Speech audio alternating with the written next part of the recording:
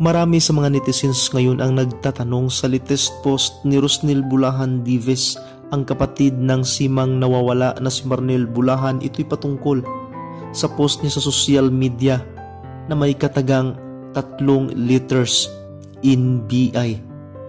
Palaisipan tuloy ng publiko na baka nga daw ay aabot sa NBI ang alitan ngayon ni Rosnel Bulahan Davis at sa psychic na si Rudy Baldwin, ito'y patungkol pa rin.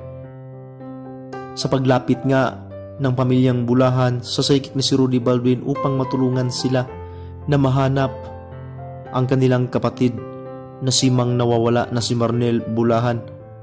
Pero ang nangyayari ay hiningian sila ng malaking halaga ni Rudy Baldwin. Ayon kay Rosnel Bulahan, pinapunta niya kahit malayo ang pamamahay ni Rudy Baldwin sa Pandakan, Maynila sa kanyang kapatid na bunsong lalaki na si Nelson Bulahan upang maituro sa nasabing psychic sapagat marami daw ang nagpapayo sa kanila na baka pwede ilapit nila kay Rudy Baldwin sapagat marami na itong na-vision na mga pangyayari at talaga daw nakikita. Kaya hindi agad gaaksaya ng panahon si Rosnil Bulahan at pinapuntangan niya ang kanyang bunsong lalaking kapatid. Nang sumalubong daw sa kanila ay humingi agad ng 7,000 pesos para mavisyon ang kanilang kapatid na nawawala. Pero hindi pa daw doon nagtatapos ang lahat sapagkat hiningian pa sila ng kalahating milyon o 500,000 pesos para maituro nga daw ang kinaroroonan ni Marnel Bulahan bagay na umatras agad ang pamilyang Bulahan sapagkat alam nilang sila ay napiki. Pero, mayroong mga ebidensya si Rosnel Bulahan na nakascreenshot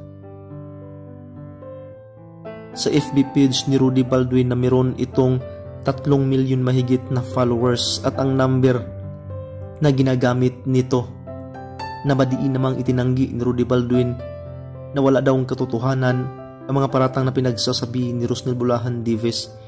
Piki daw na Rodi Baldwin ang kanilang nalalapitan pero ayon kay Rosnel Bulahan ay talagang totoo na meron itong 3 milyon mahigit na followers at ang number na ginagamit ay parehong pareho talaga. Kaya nagtataka ang mga netizens ngayon sapagat bigla nga na nagpalit si Rudy Baldwin ng numero ng telepono sa kanyang FB page. Bagay na ito siguro ang ibig sabihin ni Rosnel Bulahan Davis na ipatris up niya sa NBI sapagat tanging NBI lang ang makakaalam sa lugar o oras ng pagpalit nga ng nasabing telephone number. Kaya marami sa mga netizens ngayon ang naniniwala na talagang si Rosnel Bulahan Davis ay nagsabi ng totoo Matatandaan ding hinamon din ni Rosnel Bulahan Divisor de Baldwin na sila ay magpalay detector test sa impilan ni Idol Rafi Tulfo upang patunayan kung sino ang nagsasabi ng katotohanan. Kaya sa ngayon sa pagpalit nga ni Rudy Baldwin ng telephone number sa kanyang FB page ay ayon sa iba baka ito na ang ibig sabihin ni Rosnel Bulahan Davis.